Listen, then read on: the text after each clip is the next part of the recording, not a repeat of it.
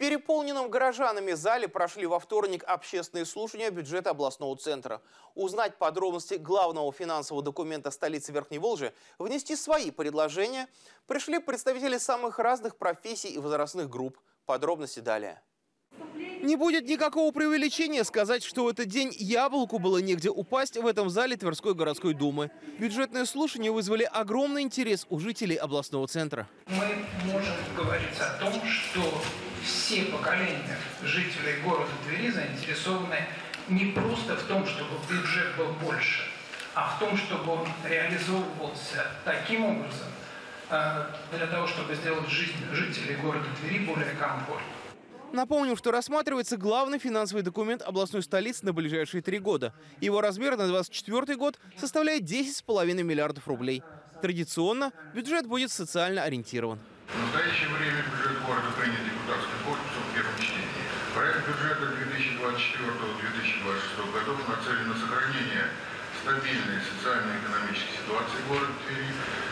Будет продолжена работа по укреплению и увеличению источников дохода муниципалитета. Отмечу, что бюджет на 2024 год планируется без дефицита.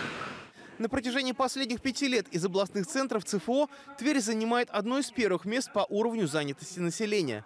Поэтому при его численности в 416 тысяч столица Верхней Волжи будет и дальше привлекательна для жителей других регионов. Тем более, согласно планам развития, в городе ежегодно планируется создавать как минимум полторы тысячи рабочих мест. Специалисты высшего уровня квалификации, среднего уровня квалификации, документоведы, инженеры, рабочие как квалифицированные, так и неквалифицированные, операторы машин, сборщики, водители, работники сферы услуг и торговли. Всего сейчас в Твери более 5 тысяч вакансий на любой вкус. Бюджетные слушания – это далеко не лекция с цифрами и графиками. Важнейшие составляющие являются предложения простых граждан.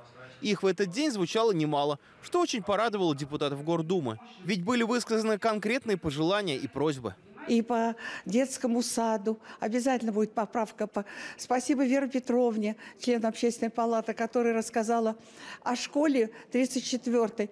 Да, тот район развивается, там новый город, но и там, когда-то эта школа, там училось 800 с небольшим. Сейчас почти 2000 детей учатся. Конечно, она уже себя переросла.